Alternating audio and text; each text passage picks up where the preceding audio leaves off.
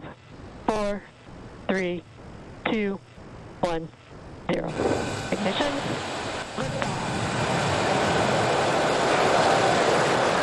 And resilience rises. Not even gravity contains humanity when we explore as one for all.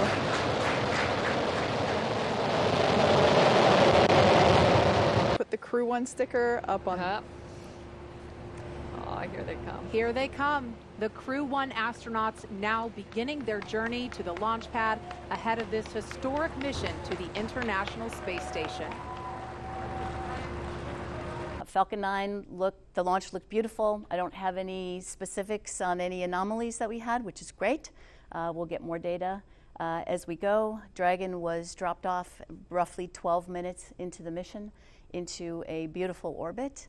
Uh, and she's operating just fine. We approach the space station in a little over 24 hours from now, um, and then uh, we'll be able to breathe a sigh of relief um, 26 or so hours from now once we hand the crew over to NASA.